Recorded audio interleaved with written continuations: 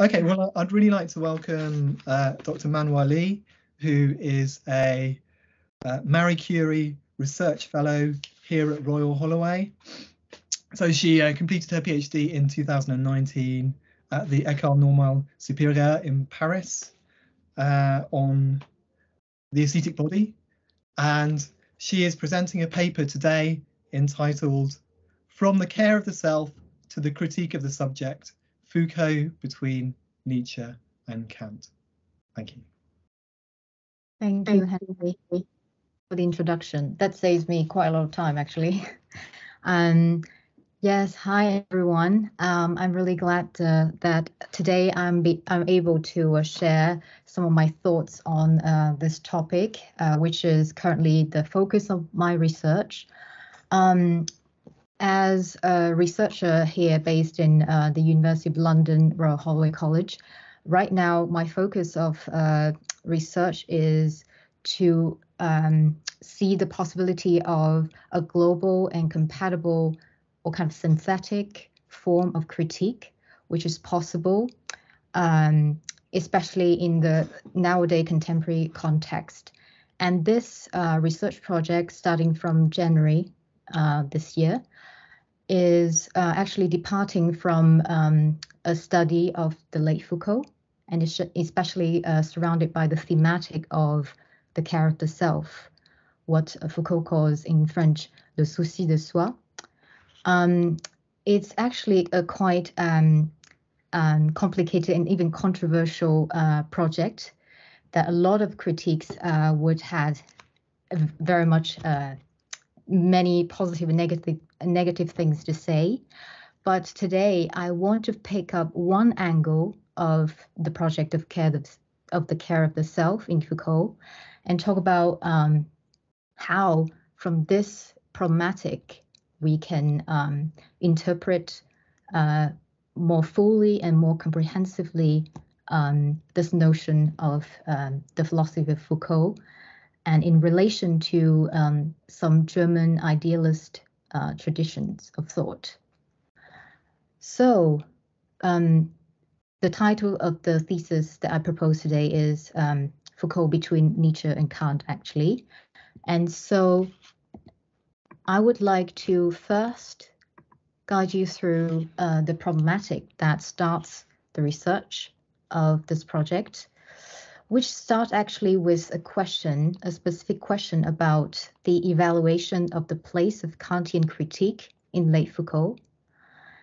And as many of you might have known that uh, there is this famous um, Kant enigma in the late Foucault, which arose uh, around uh, the, the years of 1978, uh, where um, Foucault actually started to uh, have a series of so-called Kant lectures, first starting uh, at the Sorbonne, actually in 1978, um, where he talks about qu'est-ce que la critique? So what is critique? Actually, the title.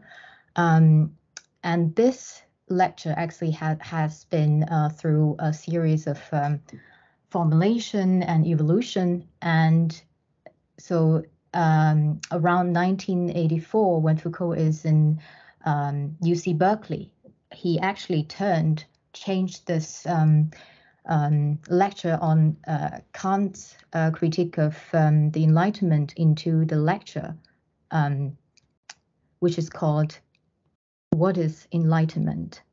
So, this very famous text uh, based on this Kant lecture in the 80s is also regarded as a very um, ambiguous, ambivalent point of departure of his late studies.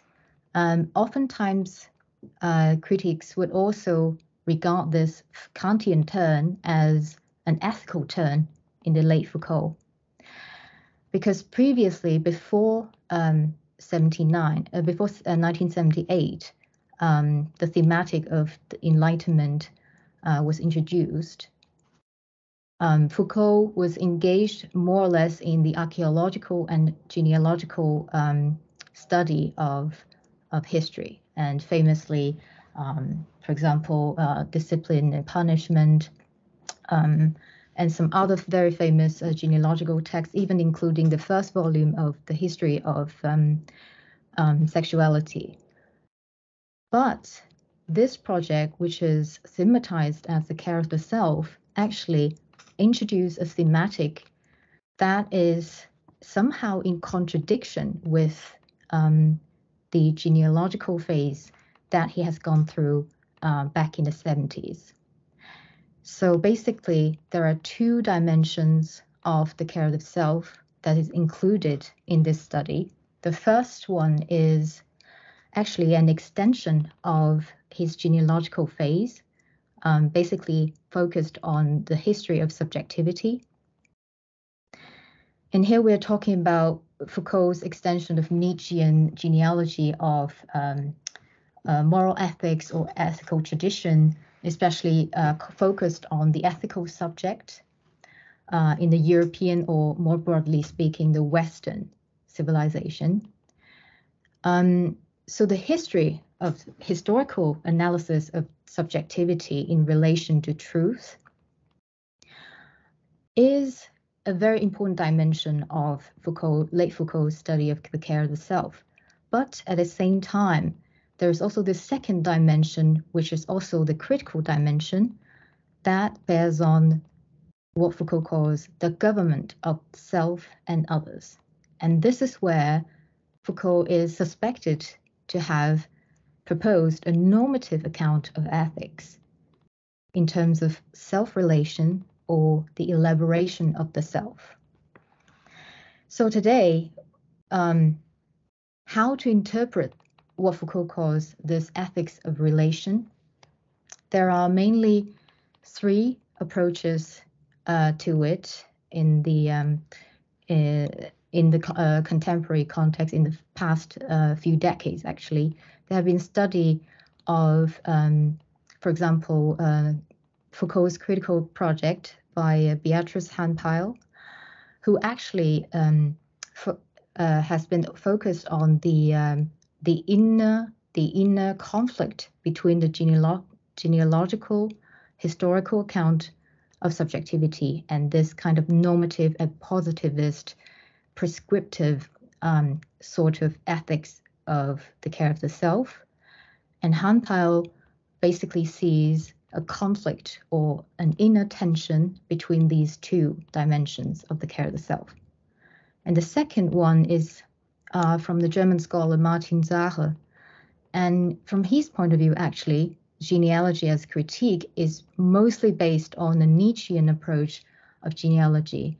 And um, in this study of uh, Martin Saar, actually, Kant has actually uh, represented a not very uh, or some kind of like counter um, prospect uh, that actually uh, genealogy of uh, as a critique is supposed to um, reject. So from he, this point of view, um, care of the the care of the self is actually a a genealogical project rather than a critical project, um, in the sense of the Kantian transcendental uh, critique. So in this sense, Saar actually regards critique as an um, immanent, concrete, and localized kind of approach of the subject. And the third one is um, Colin uh, Koopman, who has actually proposed a totally, entirely different one than Saar, which is to um, put Foucault in dialogue with other Kantian or post-Kantian um, critical thinkers such as Habermas and um, and uh, John Dewey, yes, John Dewey, um, in terms of pragmatism. So how uh, the late Foucault is actually actually engaged with the critical theorists in terms of pragmatism and the pragmatic um, dimension of the, the critique of um, capitalism.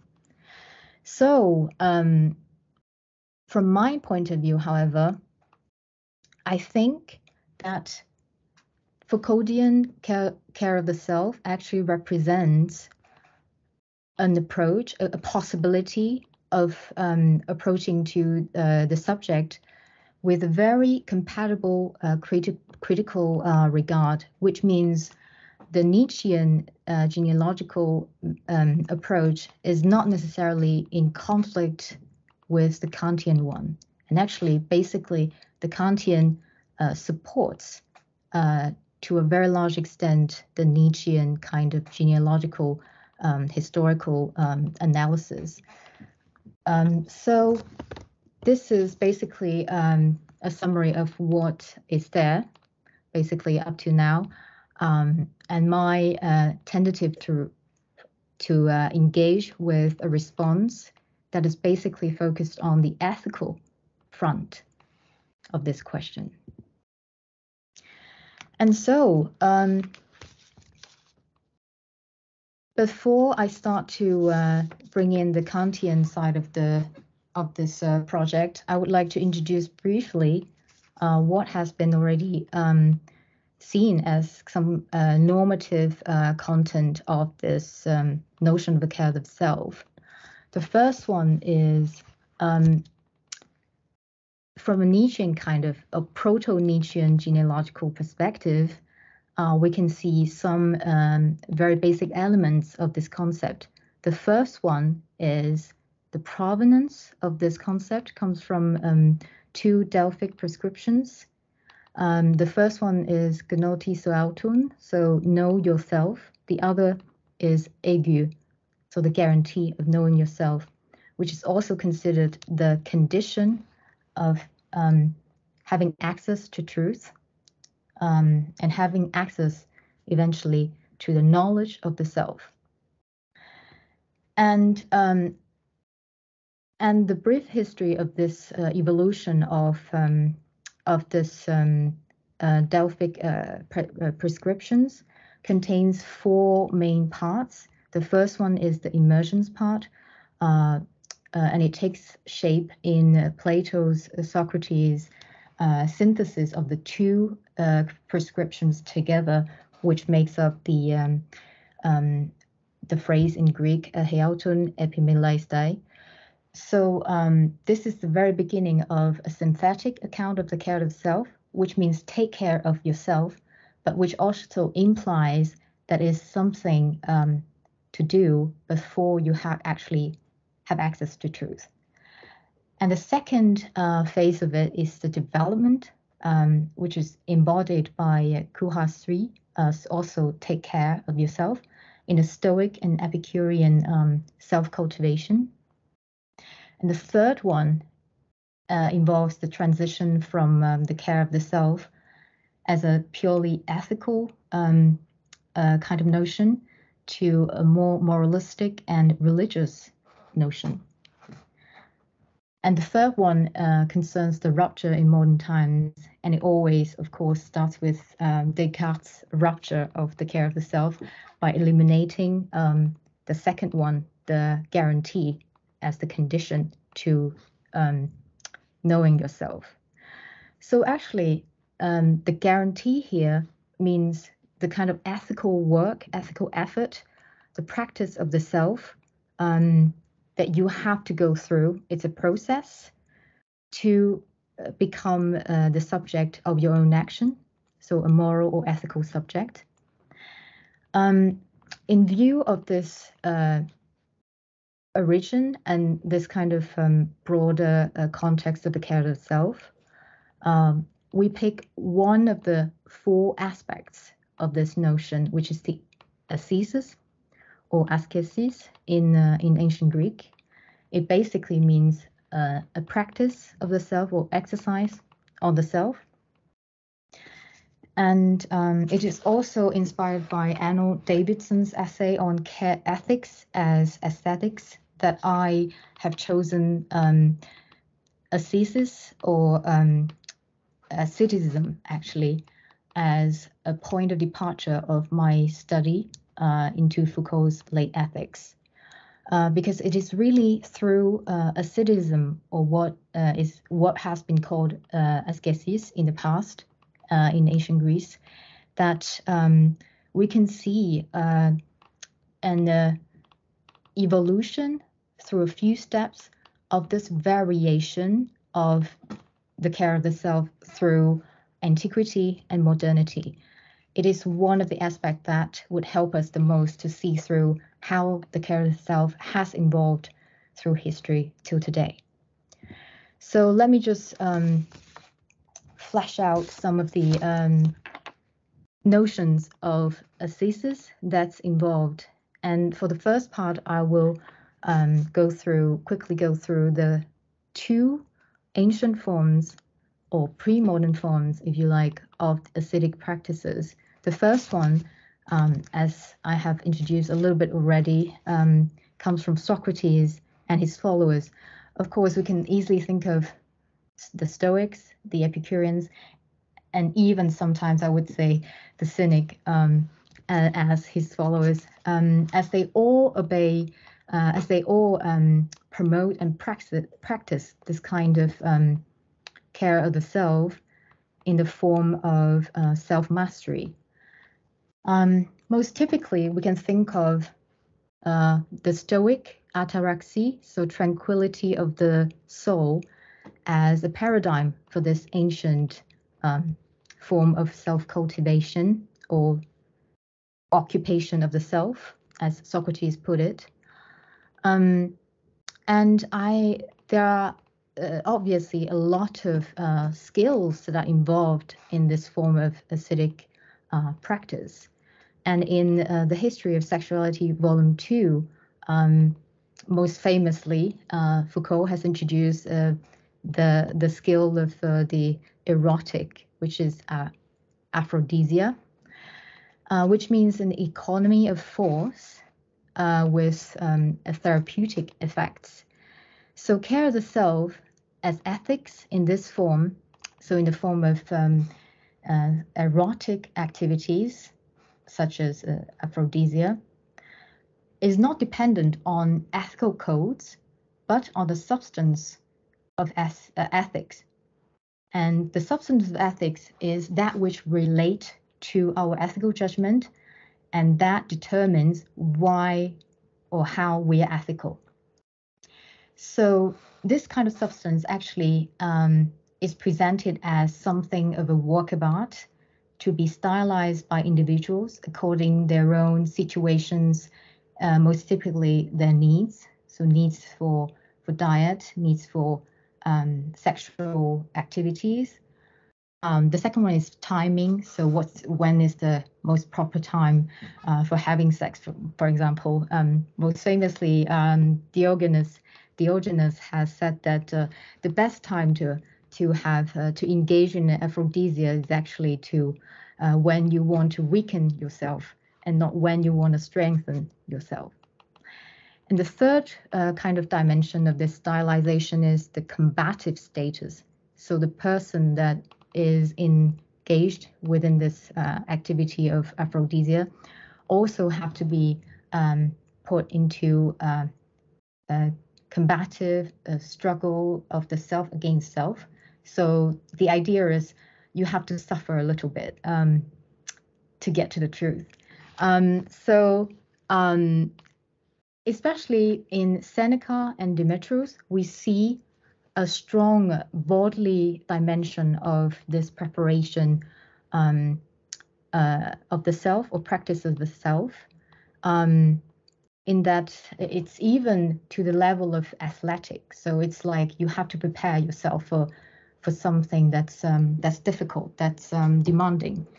Um, so um, up till now, actually, the care of the self is easily considered also as an existence of um, um, sorry, an aesthetics of existence, which means you do not actually command ethical behaviors by codes or laws or any regulations, but you allow the individuals to kind of set up their own rules and to be uh, the artist that designed the, the care of the self.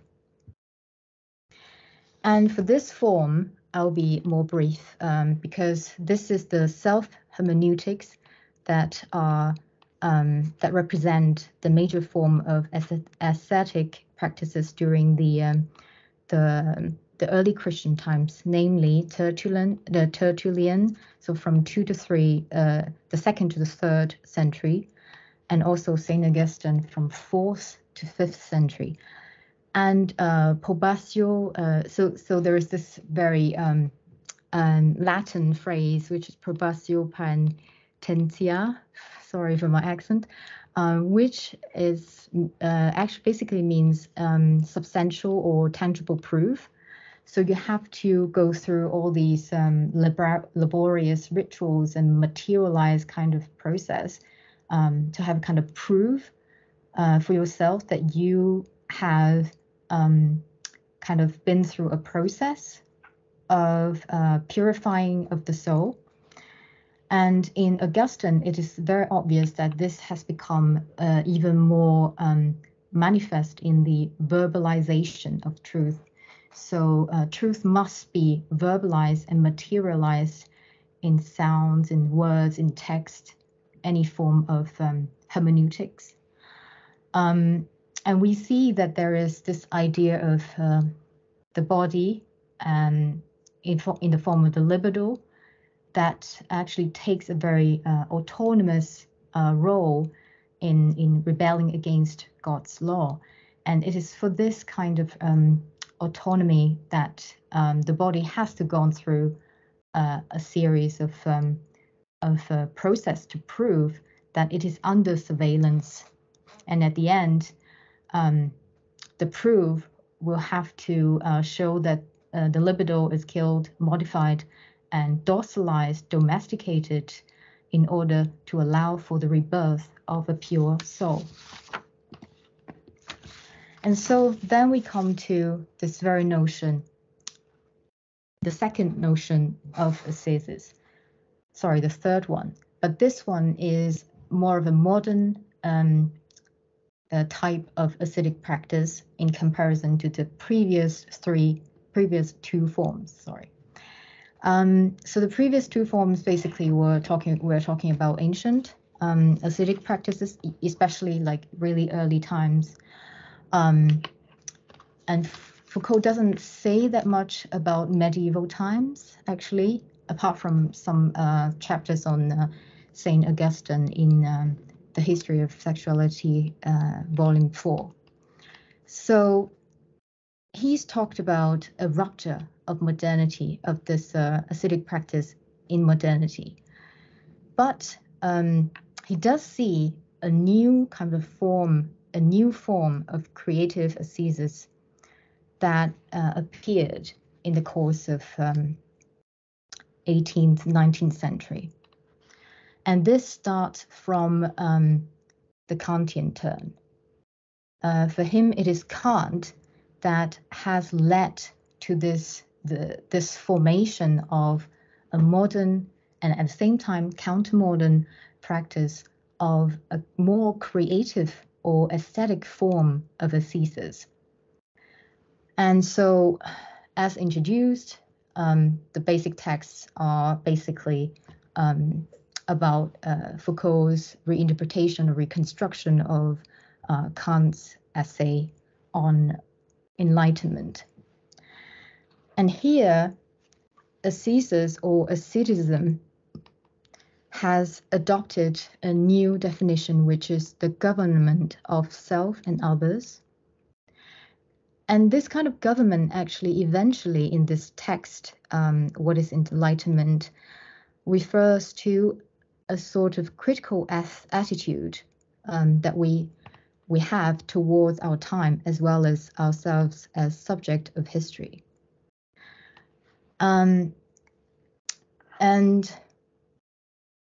most most um, importantly, the skill involved in this kind of ascesis is actually the the the practice of truth telling in public, and um, um, he takes two types of paradigm of this practice. The first one is uh, Baudelaire, uh, the dandy. Um, so he says dandy has uh, conducted a very important um, form of ascesis that has uh, represented a kind of um, new form of uh, a new creative form of ascetic uh, practice, and and the body in this form of dandiest uh, uh, ascetic practice becomes the theatric place for truth to be performed. So I would like to uh, show you this um, this quote of the dandy about the dandy. Basically, um, uh, because I have no time to read through it, so I'll just uh, read a few lines. It says, These pages, finally, on the asceticism of the dandy who turns his body, his behavior, his feelings and passions, his existence into a work of art. For Baudelaire, modern man is not the one who sets out to discover himself, his secrets, and his hidden truth. He is the one who seeks to invent himself. This modernity does not liberate man in his own being, it forces him to the task of elaborating himself.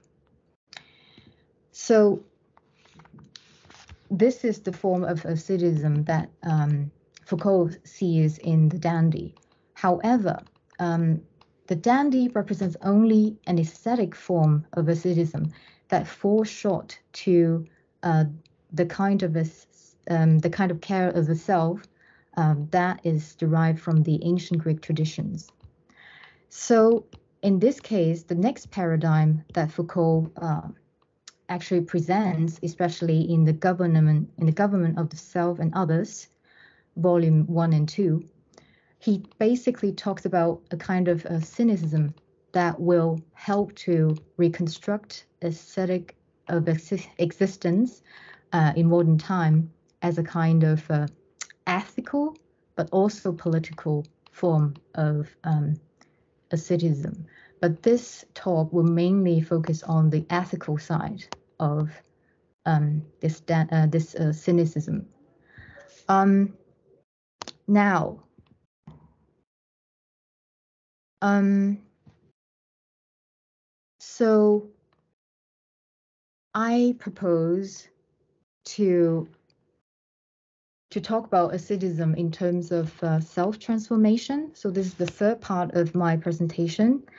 Um, um, according to Koopman, for example, um, ethics in Foucauldian term can no longer be explicited in terms of um, of a kind of moralistic uh, or altruistic form, or even um, the form um, that's based on uh, the ideal of freedom that would be at the core of Kantian critique. But uh, as Koopman uh, notes, uh, actually, uh, self relation is has been boiled down to a kind of uh, process of self transformation. So, with um, how to uh, interpret the care of the self in terms of self transformation will be a very uh, useful um, way to look inside the kind of mechanism that have been um, um, engaged and operated in these three kinds of um, ascetic uh, practices. And I agree with him, though I think that um, in his studies, the notion of transgression has not been really um, uh, underlined, and uh, but it has a very important role to play in the explanation of um, ethics um, as uh, as um, self relation. So um, the first kind of transgression, the notion of transgression that I propose here is coming from Nietzsche's um, claim on the death of God. So um, Foucault actually takes the fi- fin- fin- um, the finite God as a kind of um, point of departure for um, the modern kind of um, border uh, transgression kind of critique. So he says that a, a, profanity in a world that no longer recognizes the positive sense of the sacred, isn't that more or less one could call transgression? So here, obviously, he takes the idea of um, transgression as affirmation. So affirmation of the death of God, actually, that man is left alone with this access to truth, with this access to something of an infinity, um, something of uh, no limits, for example, reason. Um, um, and then um, something that's yeah out of our um, out of our control, for example, something that's beyond us. So man is left alone with his access to infinity because of the death of God. But at the same time, this kind of um, affirmation is not positive because it's also about a contestation or resistance of these limits. Um, so Philippe Sabot has famously uh, has actually um, relate this uh, transgression with the notion of uh, eroticism. So uh, it basically is not about sexual liberation, but about the usage of the forbidden, uh, which is related to a, a, spiritual experience in the mystical mystical order, and without the limit of God's law. So in this kind of uh, erotic sense, erotic uh, activity, uh, the practice of this kind of transgression would be also mixed or evolved with involved with a kind of danger or risks of such experience. And I would even uh, take it more further to say that Foucault's uh, genealogical writing um, in, in his own words, actually represent a kind of um, impossible experience that guides him to live the impossible, the unlivable, uh, the, the normally inapproachable life. So this is the first um, notion of transgression that has an origin in Nietzsche. But the second form of transgression um, I would like to uh, suggest comes from Kant's uh, notion of Mensch. Um, so um, most famously, actually, this is the target of Foucauldian uh, critique in, uh, especially, for example, um, the order of things, where man uh, has been um, subjected to knowledge um, or to a discourse of uh, uh, rationality in modern times, because it has become the object of of studies, of scientific uh, discourses. Um, but at the same time, um, it seems that Kant has also set up a kind of um, uh, subjectivity that is uh, uh, embodied with a new kind of freedom, which is uh, the freedom of rebel, rebelling against this kind of restrictions.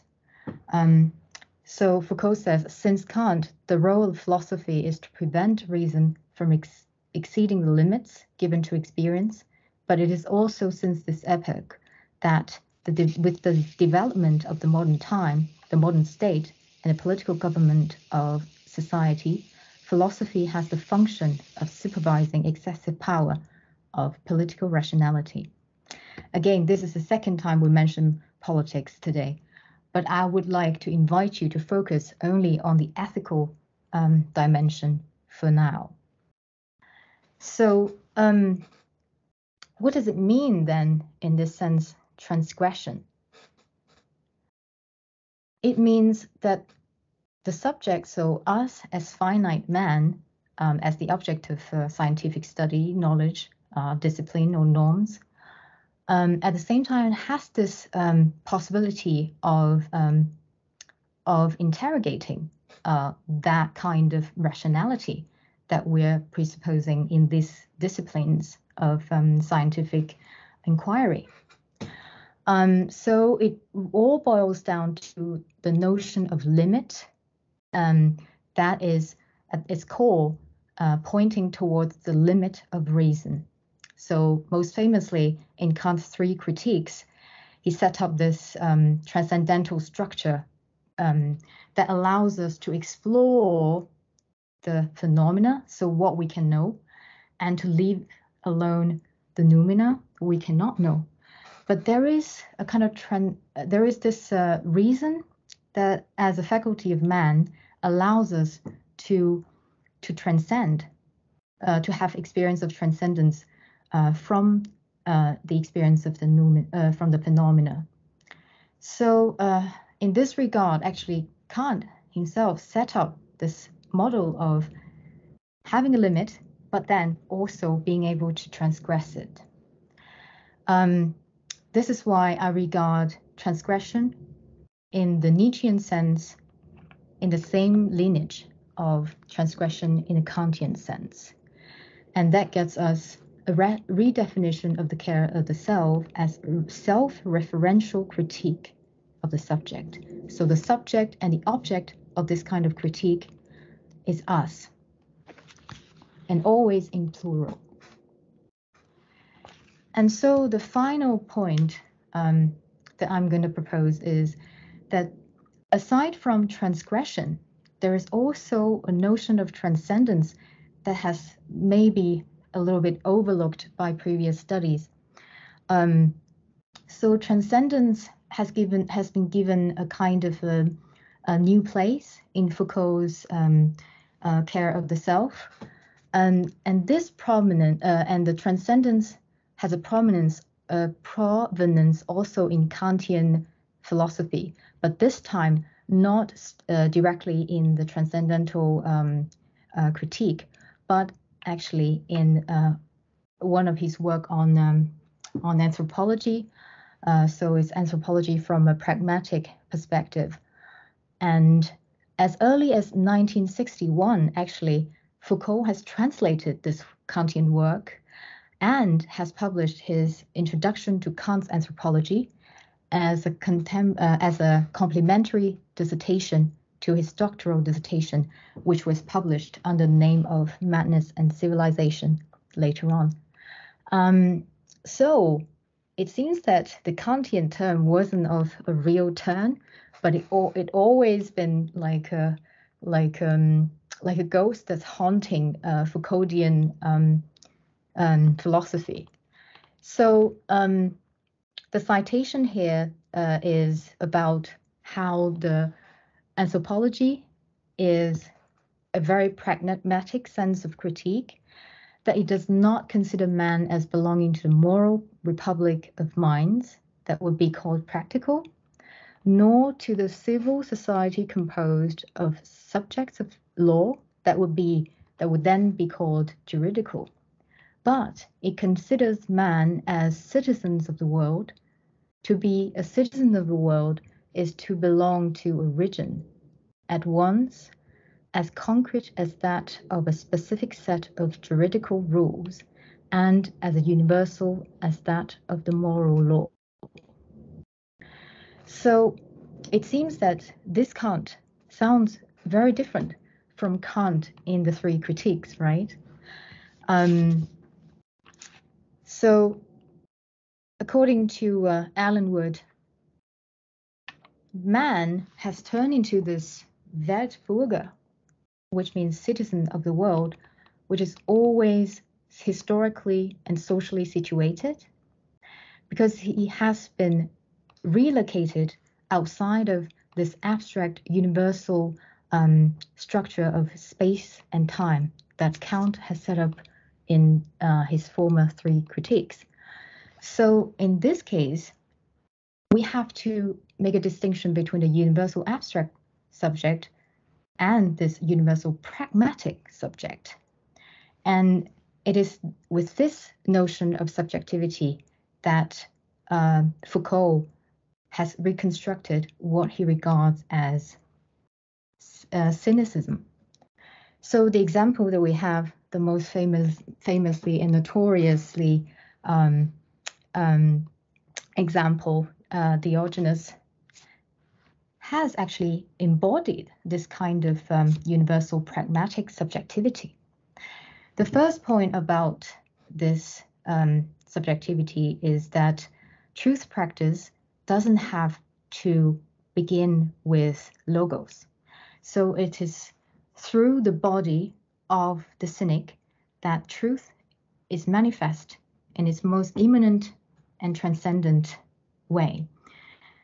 Immanent because it is manifest already uh, within the body as a theatrical place um, for the others to watch in the city.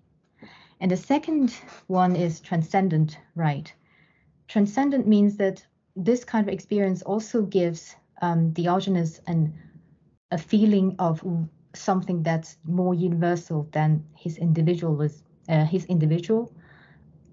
And so the universal, the kind of universality that's related to um, logos or reason is both internal to the self and separated from the self. And this separation gets us to the second point of um, the notion of the practice of truth um, as desubjectivation.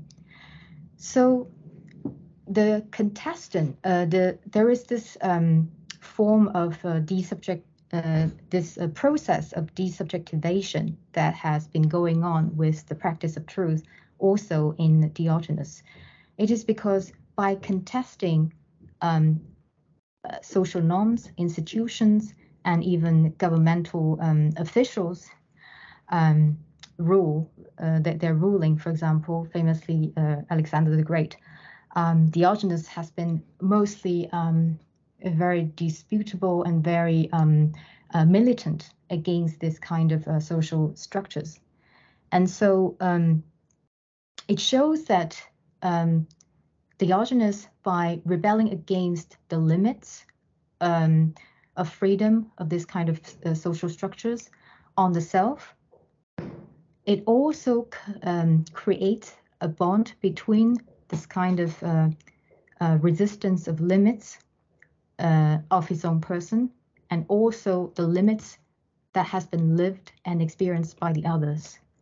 So it is in this sense um, that I call that the experience is uh, transcendent in a very horizontal way. It means that it go past the person um, because at the same time it's a rebellion for the sake of the others. Um, so this is this leads to the conclusion of um, my study. Um, the first conclusion is um, the care of the self is a form of critique, and it is about the critique of the self as the subject of knowledge. But in this sense, in the Foucauldian sense, it is uh, a practical knowledge instead of a theoretical or abstract knowledge.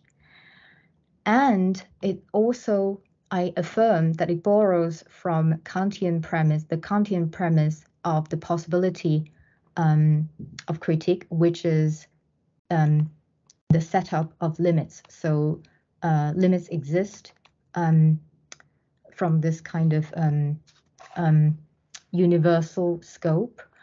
Uh, but I have to say that um, Foucault has uh, narrowed down the universality to the pragmatic and empirical uh, and concrete forms uh, of limits that is directed towards social and political and um, uh, societal um, empirical anthropological forms of limits. There, is, there exists a universality of these limits within this, um, this uh, empirical uh, scope, but he does not mean a universality of, of an abstract world. And so this is basically my conclusion about um, my some of my uh, research of the previous stage. Uh, but I would like to then move to from a, an ethical uh, response to this question to a political response to this question, um, especially in regard to uh, Foucault's uh, biopolitic, uh, where he um, definitely affirms um, this kind of uh, asceticism's uh, connection with the neoliberal, the neoliberal um, political e- economy that has been um, seen in America as well as Germany, and I would say nowadays even across the globe. Um, um, and so I think uh, the next stage or the next direction of um, of this study could be um, an extension on a, a political dimension of the government of the self as a form of critique. So basically, this is um, what I propose today as a as a discussion, as a share of uh, knowledge to uh, my dear colleagues and friends. So I would like to stop there and um, to to listen to what you have to say about it.